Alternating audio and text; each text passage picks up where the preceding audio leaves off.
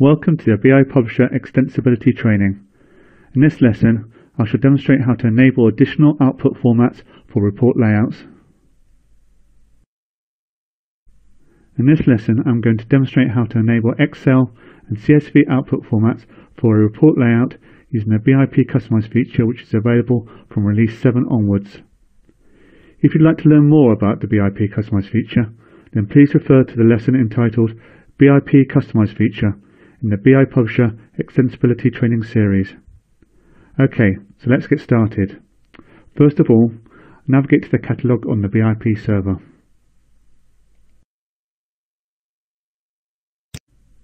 Once we're in the catalogue, we can navigate down to the report. For the purposes of this lesson, I'll use the Financial Tax Register report.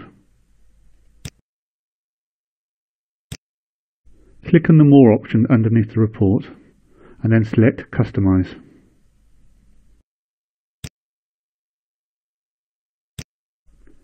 Customize will create a copy of the report underneath the custom folder.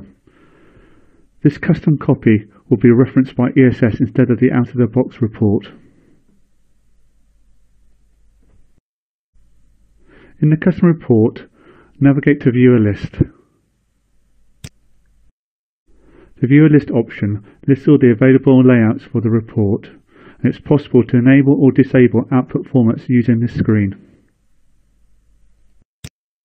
In the drop-down list of values, you can check to enable output formats or uncheck to disable them.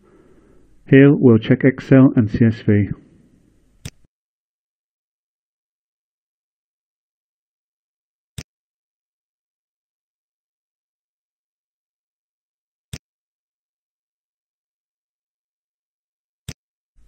Now let's save the report.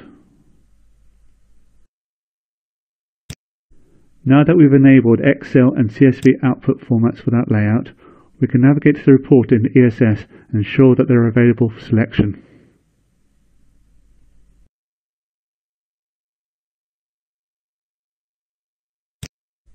Here have the Financial Tax Register report already open in ESS.